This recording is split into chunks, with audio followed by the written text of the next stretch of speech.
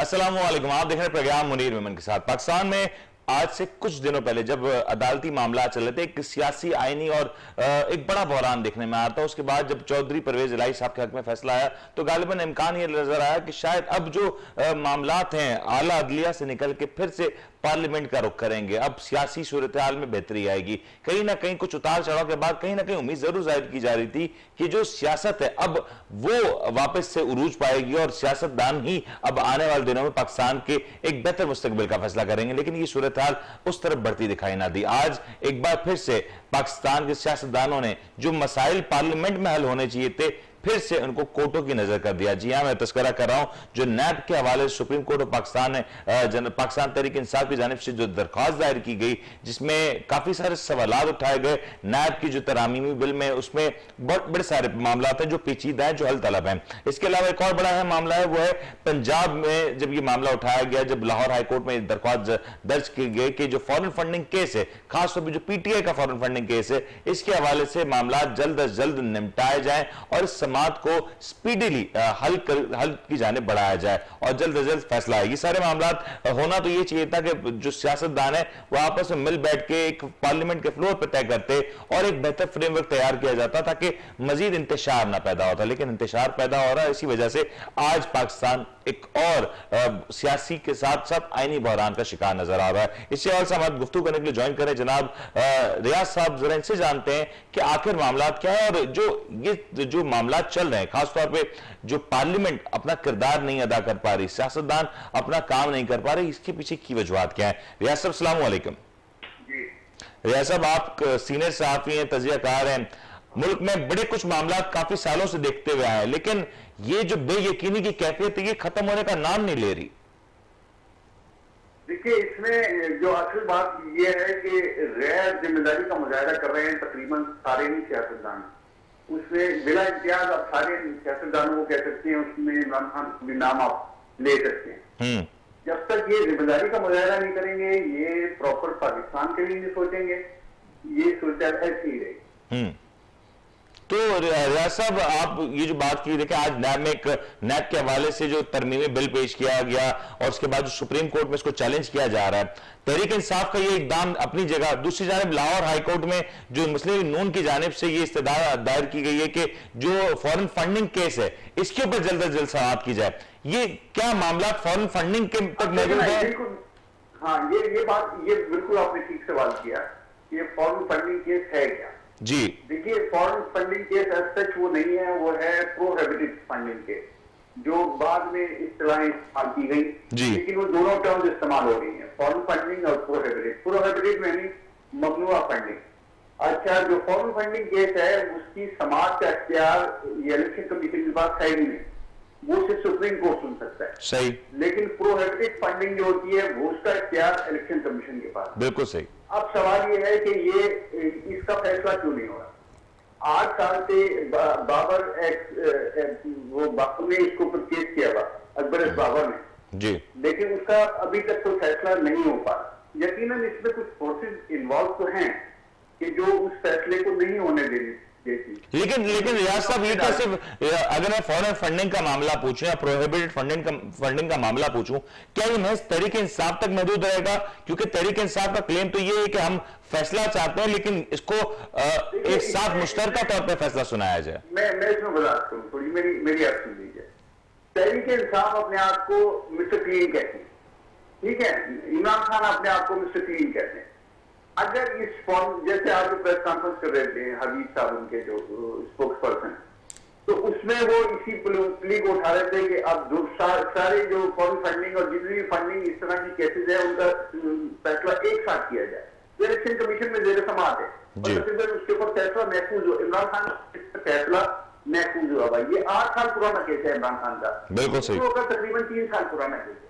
अब वो ये चाहते हैं उनकी पार्टी ये चाहती है कि सारे फैसले एक साथ हो जाए यानी जो नए केसेस जमा हुए हैं उनके भी और उनकी पार्टी का भी केस पीजीआई का एक साथ उसका फैसला सुनाया जाए। ये जो इन लॉजिकल है इन मैं समझता हूँ इनलीगल भी है किसी हद तक। लेकिन अगर अगर ये मामला एक है अगर मामला एक है रियासत अब इसमें इसमें जो फॉर्म फंडिंग का मामला है वो दूसरे जमातों का भी उसी तरीके से लागू होना चाहिए जिस तरीके से वो तरीके इंसाफ पर लागू हो रहा है। हम्म। एक बात दूसरी बात मैंने आपसे अर्ज़ किया कि मिस्टर क्लीन कहते वो अपने आप को। तो उनको परेशानी क्या है वो तो कहते हैं कि हमने कोई ऐसी ममनुआ फंडिंग नहीं ली कोई ऐसी फंडिंग हमारे पास आई नहीं है। तो फिर पैसा आने दीजिए ना।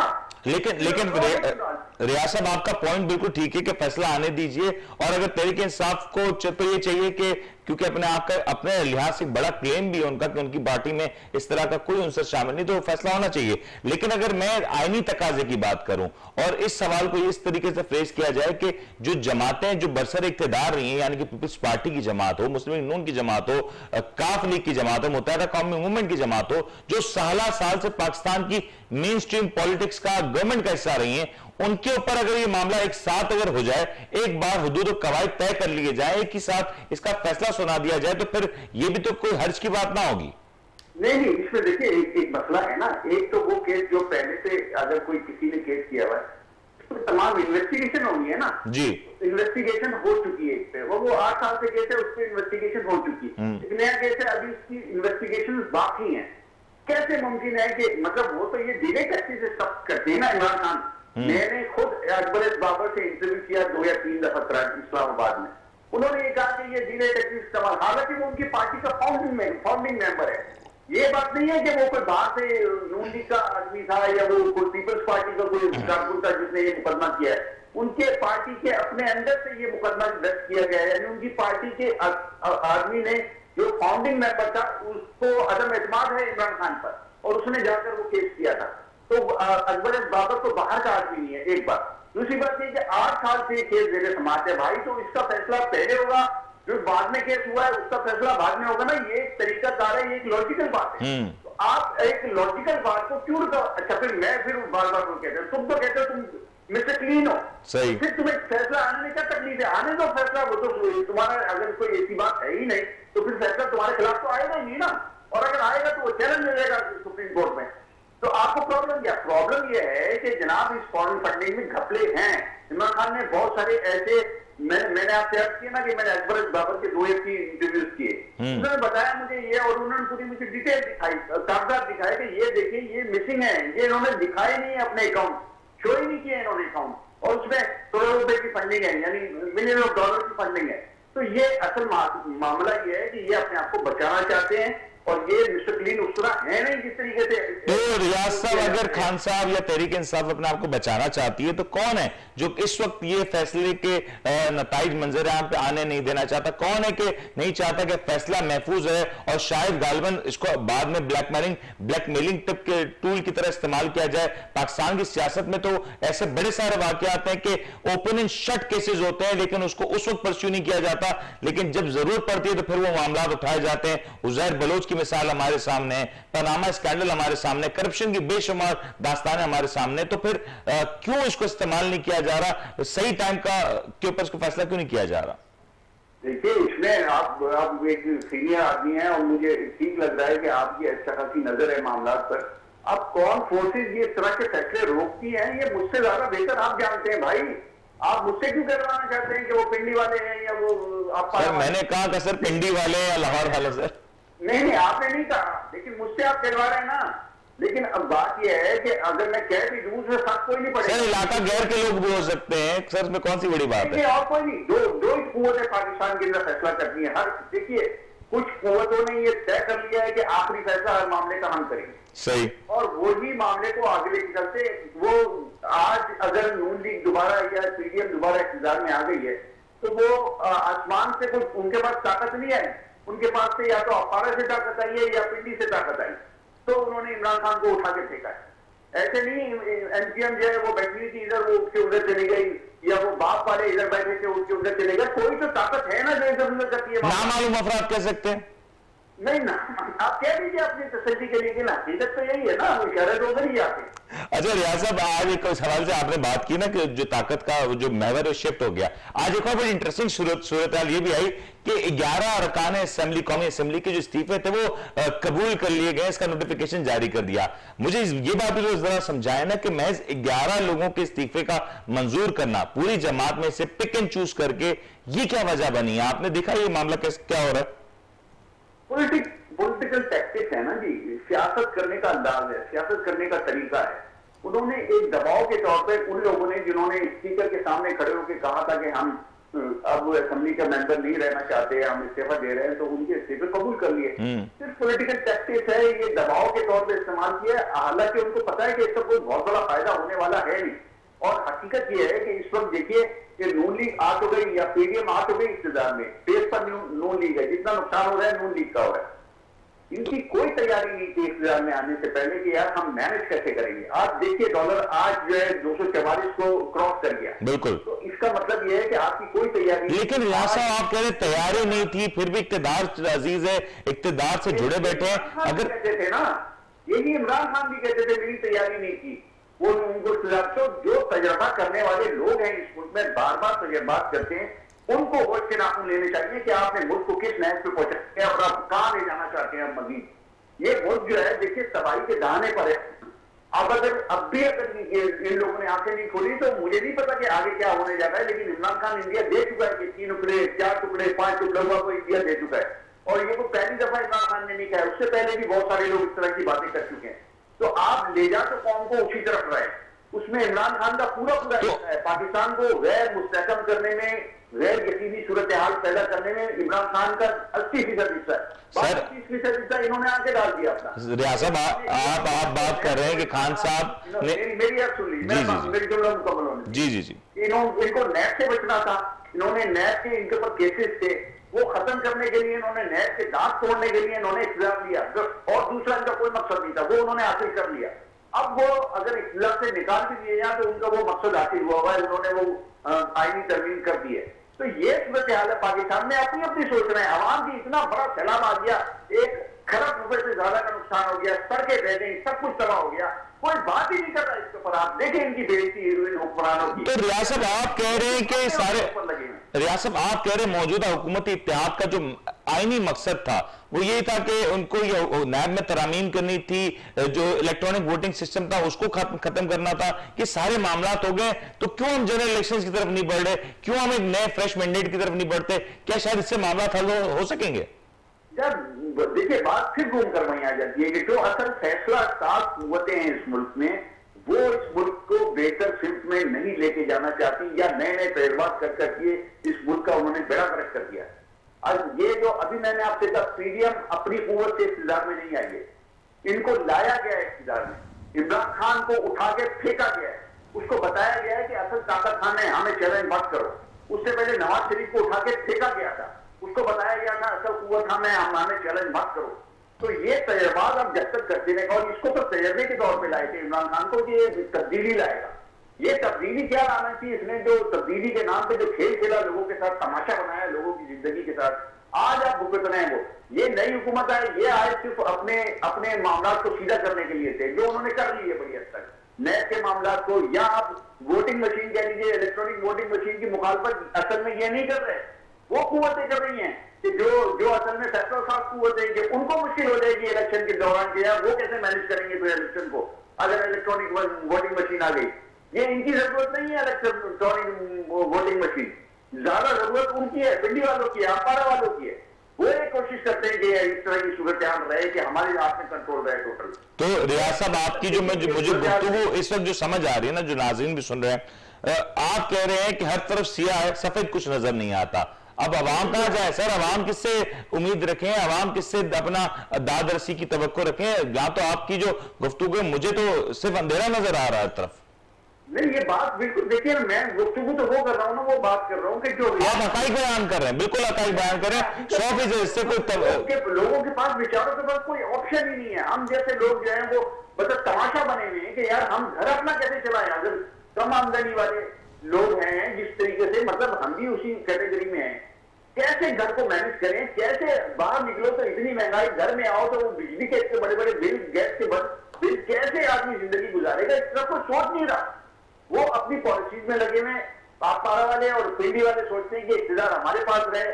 जो जो सियासी जमातें हैं, वो समझती हैं, वो सोचती हैं कि इनके साथ मिलकर जो हमें मिल जाए, वो मिल जाए। हम अपने कारकुनों को खुश कर लें हम अपनी जो जमात को मज़बूत कर लें ये सोच अगर रहेगी मजीद तो भाई बहुत खतरनाक सूरत हाल मुझे नज़र आ रही है। आइंदा आने वाला वक्त बहुत ज़्यादा रियासत आपसे आखिरी सवाल पूछना चाहूँगा कि आप आने वाले कुछ दिनों में कुछ हफ्तों या आने वाले एक आध दो महीने में मुल्क में कोई इलेक्शंस होते हुए नज़र आ रहे हैं कोई मामला बेहतर होते हुए नज़र आ रहे हैं या ये कारवा ऐसे ही चलता रहेगा बिखरा हुआ बेतरतीब? देखिए इसमें दो दो बातें बड़ी अहम है। एक तो ये कि अभी आईएमएफ ने आपको पैसे नहीं दिए। वो पैसे जिस दिन आ जाएँगे, उस दिन शायद कुछ हरकत में आ जाएँगे, पिंडी वाले भी और अखबार वाले भी, और उसके बाद कुछ सूरत बन जाएगी इलेक्शन की तरफ़ मूव कर जाएँगे। ये सिर्फ़ पैसों का इंतज़ार कर रहे हैं। जिस दिन वो पैसे आ जाएँगे पाकिस्तान के पास, उस दिन ये इंटरिम गवर्नमेंट ला के या केयर टेकर उसको ला के बिठा देंगे और इनको कहेंगे, तुम घर जाओ। आप कह रहे हैं मैं मैं एक बार से माजत माजत कथा कराने की आप कह रहे हैं कि अगर आईएमएफ ने ये फंड रिलीज़ कर दिए तो ये हुकूमत हाथ झाड़ के घर चली जाएगी? नहीं हाथ झाड़ के नहीं जाएगी उनको उठा के फेंका जाएगा देखिए मैं मैं बार बार मतलब आप दानिस्ता तौर पर नहीं जाएँगे फिर भेजा जाएगा आप ये कह रहे हैं? जी घर भेजा जाएगा इनको और वो ताकतें मौजूद है जो घर भेजती हैं। और अगर उन्होंने ये फैसला किया कि नहीं अभी चलाना है इमरान खान को और मज़बूत करना है थोड़ा सा तो वो मज़बूत करने के लिए उसके लिए काम करेंगे। देखिए हकीकत यह है कि इस वक्त स्टेब्लिशमेंट में भी दो दो वादे राय मौजूद हैं। एक हम्म। इमरान के हक में दूसरी इमरान खान की मुखालफत में। एक एक राय जो है स्टेब्लिशमेंट में वो नून लीग के हक में या पीडीएम के हक में दूसरी उसकी मुखालफत में। ये डिवीज़न अब स्टेब्लिशमेंट में मौजूद है जो पहले नहीं थी। ये नई डिवीज़न आई है। अब इसमें जो जो कुतें उधर खड़ी होती हैं वो उधर जाके खड़ी हो जाती हैं जो इधर खड़ी होती हैं जो इधर आके खड़ी हो जाती हैं उससे बिल्कुल गैर यकीनी सूरत हाल में इजाफा हो रहा है। पहले कम से कम एक तरफ़ तो होते थे ना सब लोग तो एक तरफ़ बैठ के फैसला कर लेते थे। अभी वो आधा इधर को सपोर्ट कर रहे हैं आधा इधर को सपोर्ट कर रहे हैं तो वो तो ऐसी गुमागू की सूरत हाल है। तो मेरा अपना ये जाती तजिया है कि अगर ये आईएमएफ से पैसे रिलीज़ हो जाते हैं और आ जाते हैं पाकिस्तान और उसके साथ चार पाँच मुल्कों से और आ जाते हैं जैसी पैसे आएँगे वैसे ही कहेंगे आप घर जाओ। ओके ये ये, ये, ये बड़ा एक बड़ा इंकशाफ है ज़बरदस्त।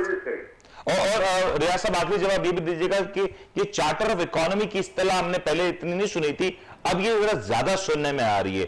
चार्टर ऑफ़ इकोनॉमी क्या है सर? जरा इसको भी बता दें अगर एक आम आवाम की अंडरस्टैंडिंग के लिए। ये चाहते हैं और, और ये होना भी चाहिए। मैं मैं इसके हक में हूँ कि एक दफ़ा आप जो इकोनॉमिक की पॉलिसीज़ है मुल्क की मुल्क की माशी पॉलिसीज़ है मीशत की पॉलिसीज़ है इकतदी पॉलिसीज़ है उसको आप एक दफ़ा तय कर लीजिए। फिर हुकूमत जो भी आए, जिसकी भी आए, उसी पर अमल पैरा हो। ये ये इनकी ख्वाहिश है। मैं नहीं समझता कि पाकिस्तान में जिस तरह की रेवलरी है, एक दूसरे के खिलाफ नफरतें हैं, ये दस इस तरह के एग्रीमेंट साइन कर लें, जब ये हुकूमत में आएँगे तो ये अपनी मर्ज़ी करेंगे और इस तरह की कोई चार्टर पाकिस्तान में साइन हो नहीं सकता और उस पर अमल दरामद नहीं हो सकता। ये जो खाम तैयारी है, ख्वाहिश है और बस सियासी स्टंट कह लीजिए आप, ये सियासी स्टंट के तौर पर इस्तेमाल हो रहा है। इससे आगे इसकी अहमियत मैं समझता हूँ कि चार्टर्ड ऑफ़ इकोनॉमिक इकोनॉमी की कुछ भी नहीं है।